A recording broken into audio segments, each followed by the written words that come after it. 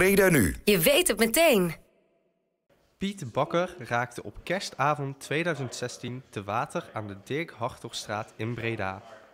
Burgemeester Paul de Pla reikte op 1 juni namens de Stichting Maatschappij tot Redding van Drenkelingen een medaille en oorkonde uit aan zijn redders Victor Bierbooms en Niels van Rijsbergen. U bent 24 december te water geraakt. Ehm, hoe is dat precies gebeurd?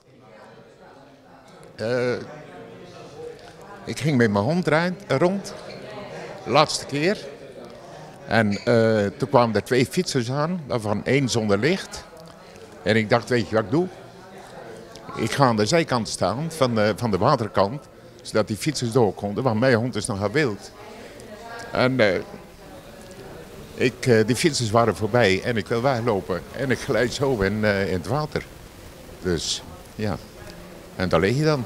We waren in eerste instantie van plan om naar een vriend te gaan op kerstavond.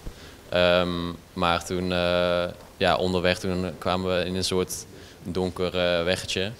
waar, Langs ja. het water is het dan een donkere weg. Ja, maar er was een hond op midden op de weg, dus we gingen wat uh, langzamer fietsen.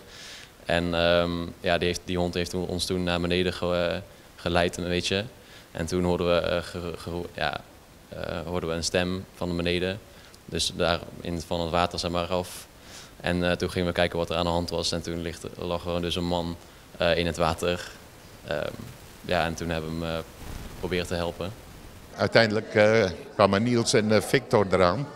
En die zijn gestopt meedoen dat mijn hond op het fietspad liep.